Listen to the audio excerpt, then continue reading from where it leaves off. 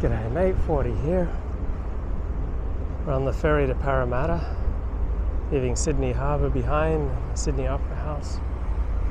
Anyway, I was just listening to Robert Wright interview with Eric Alterman, the left wing 25 year Nation magazine media columnist, a PhD in history, a professor of English and journalism.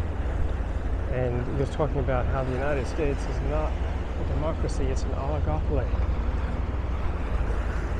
And uh, maybe you didn't hear, but uh, Putin's Russia is not a proper democracy.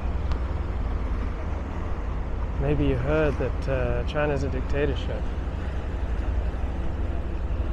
But uh, many nations are a combination. In fact, all nations, all nation states are a combination of different forms of government. So the United States has elements of democracy. It has elements of oligopoly. It has elements of dictatorship. It probably has elements of aristocracy. It has all sorts of different elements. So it's not like it's either a democracy or an oligopoly or a dictatorship. It's all three. Like when it comes to foreign policy, the United States president is you know, essentially a dictator. He has all the rights of King George III. Uh, Joe Biden has said three times the United States would militarily intervene if China tries to take Taiwan. No, most Americans don't support the shedding of American life to save Taiwan, but the foreign policy elites have already made this decision. So the, the people don't get a vote on this. Uh, the people of the United Kingdom were very opposed to the 2003 invasion of Iraq. But England joined the fight nonetheless, Tony Blair and the Labour government decided it. Australian people were not supportive of Australia joining the wars against Afghanistan and Iraq. But Australia's elites made that decision.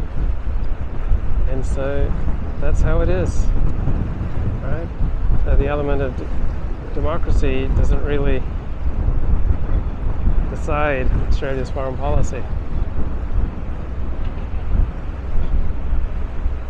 There's just elements of democracy in foreign policy. And there are elements of oligopoly and there are elements of dictatorship.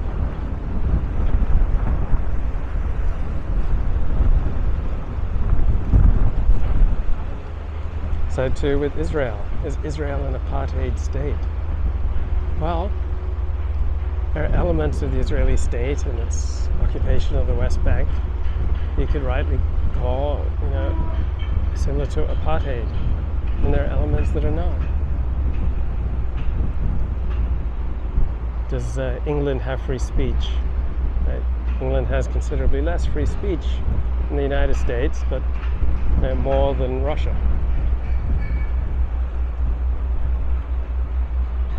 So, just like people aren't honest, good, righteous, true, they're only honest, good, righteous, true in certain situations, and they're less honest, less righteous, less true, less fair dinkum, less kind in other situations.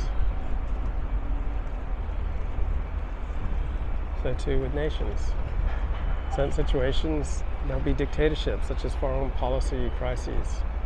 Uh, President Dwight Eisenhower said the United States would only survive nuclear war if it was operated as a dictatorship. So in times of crisis, you know, dictatorial elements come to fore in a nation state. Other times, uh, democratic elements or oligopoly, oligopolistic elements come to the fore. Depends on the situation. So people aren't one thing.